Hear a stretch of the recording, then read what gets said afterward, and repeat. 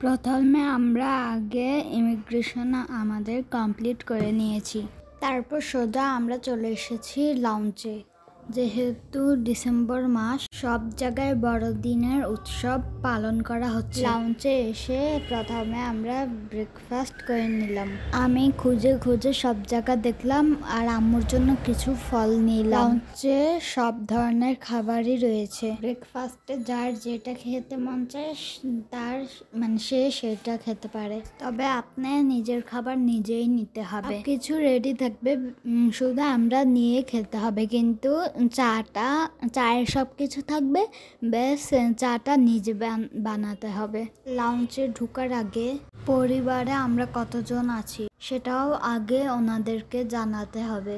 তারপর সেখানে আমরা আমাদের সময় কাটালাম। একটু একটু করে সব খাবারই খেয়ে দেখলাম। তবে খাবার অপচয় না করলে ভালো হয়। আব্বু আব্বুর জন্য আর আমার জন্য জুস নিয়েছে আর একটু ফল নিয়েছে। আমাদের মতো আরও অনেকজন আছে যারা ভ্রমণ করতে যাবে।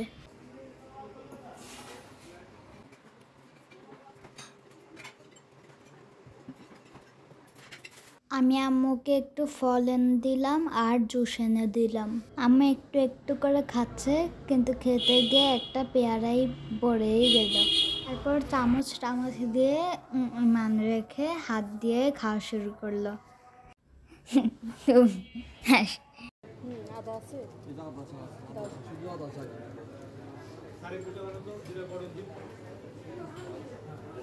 আম্মু সবসময় হেলদি ফুড খায়, কিন্তু মাঝে মাঝে মুরগিও খায়।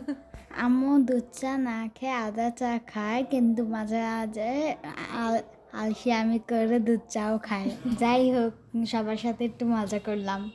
খাওয়া দাওয়া শেষ করে আমরা চলে গেলাম বাকি কাজ কমপ্লিট করতে। উঠানোর আগে সব, ওনারা সব কিছু চেক করে নেয়। সেজন্য আমরা দুইটি বাস্কেট নিলাম।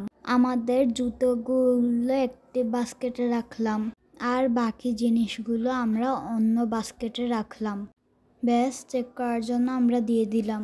আমাদের সব কিছু ঠিকঠাক আছে, এবার আমরা বিমানে উঠবো। কিন্তু এর আগে বাস করে আমরা বিমানের পর্যন্ত যাব।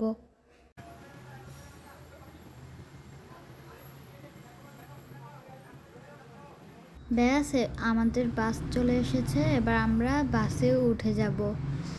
আমরা বাসে উঠব, আর বাসে উঠে গেলাম। এবার আমাদের বাসে ওঠার পরে দুই মিনিটের জার্নি ছিল। বাস থেকে সব কিছু বাইরে আমি দেখ, দেখব। দেখা শেষে আমরা অবশেষে বিমানের ওখানে পৌঁছে গেছিলাম।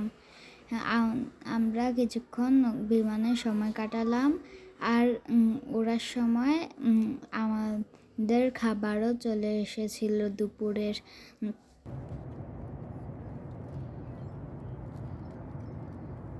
আমি সকাল সকাল ঘুম থেকে উঠেছি বলে কিছু খেতে মন চায়নি। বাপরে ব্যাংকক কত বড়। তাই? হ্যাঁ দেখো এই পুরোটা ব্যাংকক।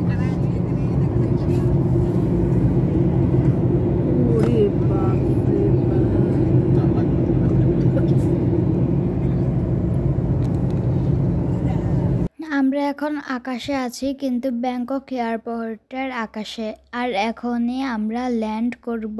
বিমান খুব স্পিডে উপর থেকে নিচে নামছে। মনে হচ্ছে যেন কোনো রেসিং কার দৌড়াচ্ছে। আর অবশেষে আমরা ব্যাংককে ল্যান্ড করে নিলাম।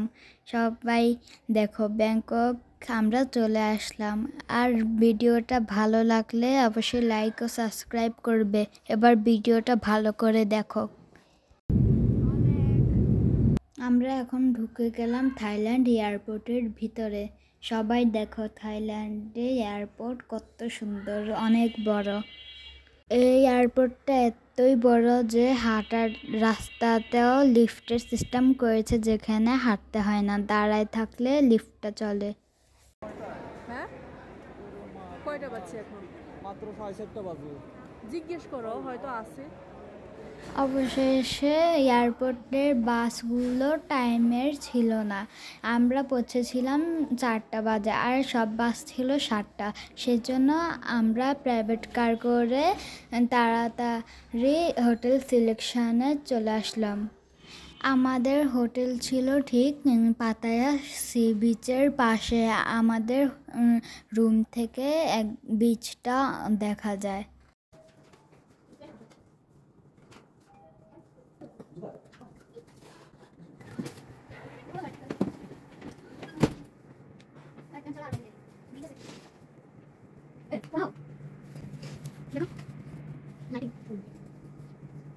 এই যে দেখো সবাই আমরা এবার থাইল্যান্ডে আর আসছি তো আসছি। আমার প্রতিদিন আমার ভিডিও করে। Wow wow wow